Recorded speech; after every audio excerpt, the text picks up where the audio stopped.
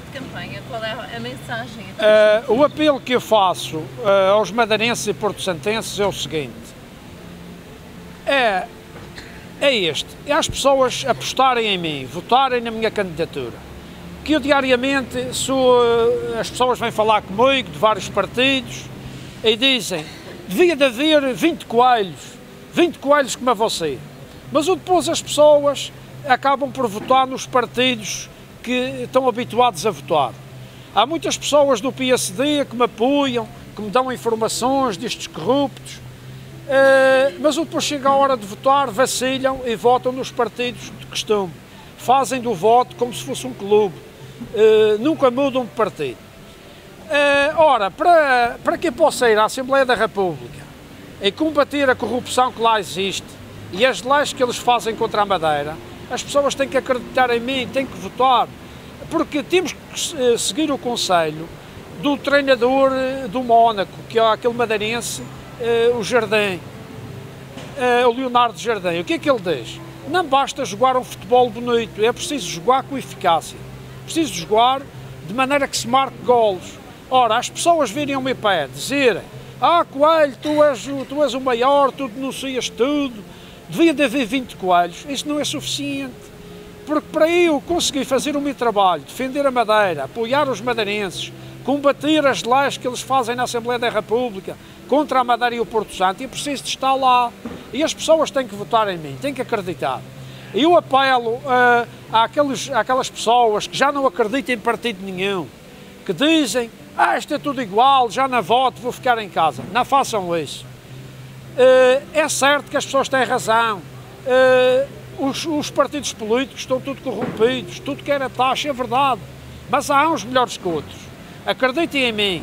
Deem-me uma oportunidade para eu ir à Assembleia da República, mostrar o meu trabalho e defender a Madeira e os madeirenses.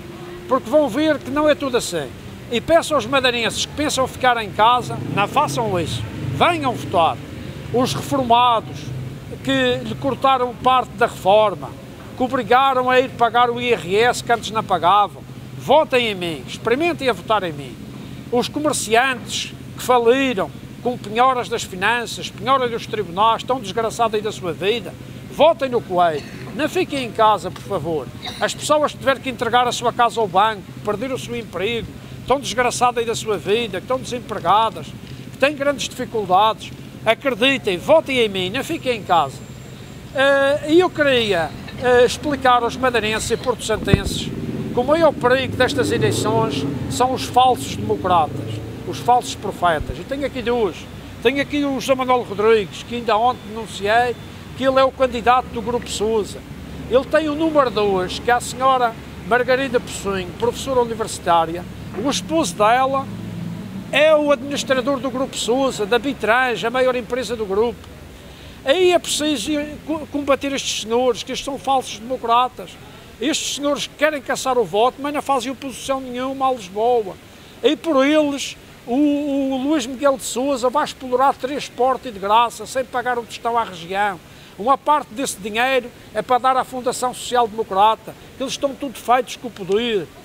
O, é este amigo que está aqui, este verdinho, eh, tem um grupo de meninos fardadinhos, andam todos fardadinhos, comandam o tempo da mocidade portuguesa. Em Santa Cruz já ninguém acredita neles, que eles prometeram que ia baixar o IMI, mas foi tudo conversa fiada. Só baixaram 3, 4, 5, 6 euros. As pessoas continuam a pagar 300 euros, 400 euros, 500 euros, já ninguém acredita neles. Portanto, é preciso cuidado com estes falsos democratas que fingem defender o povo, mas o que eles vão fazer, eu julgo do PSD, eu julgo do Passos Coelho, é impedir que o Coelho seja eleito à Assembleia da República para combater os ladrões, combater as leis contra a madeira, os impostos que estão a arrebentar com a nossa economia, que estão a causar miséria, desemprego e pobreza.